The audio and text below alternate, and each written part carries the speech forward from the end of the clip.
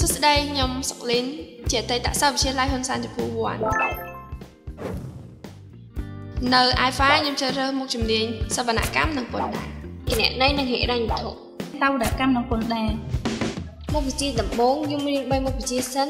Basic Bookkeeping Advanced Excel និងមុខវិជ្ជាទី3 CAT FA2